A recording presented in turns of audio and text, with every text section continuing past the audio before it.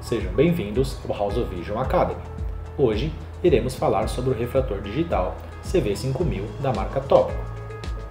Seu painel frontal possui alguns botões para interação. Do lado direito, iremos selecionar os optotipos em linha vertical, linha horizontal, vermelho e verde ou optotipo único e alterar a acuidade visual do paciente. Temos a possibilidade de usar programações pré-estabelecidas, na sua parte frontal, iremos alterar o poder refrativo usando esse controlador ou os botões abaixo. Na parte superior, iremos informar se iremos efetuar a refração apenas do olho direito, do olho esquerdo ou de ambos, além de escolher a seleção de oclusão dos olhos. Iremos também posicionar alterações no esférico, cilindro e eixo e na distância pupilar.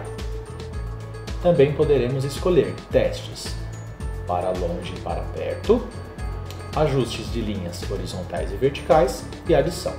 Além disso, poderemos imprimir o resultado da refração efetuada. Do lado esquerdo, podemos apagar no botão CL, ir para configurações e menu, receber dados de outros equipamentos e, na tecla Shift, entrar em configurações especiais. O controlador do CV5000 nos permite ajustar o padrão de optotipo, sendo horizontal vertical ou optotipo único. Também nos permite ajustar a acuidade visual do paciente a ser examinado. Podemos também selecionar refração no olho direito, esquerdo ou em ambos. O botão central nos permite ajustar poder esférico,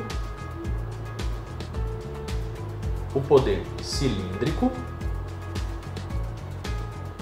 e o seu eixo. Além disso, podemos também ajustar a distância pupilar do refrator.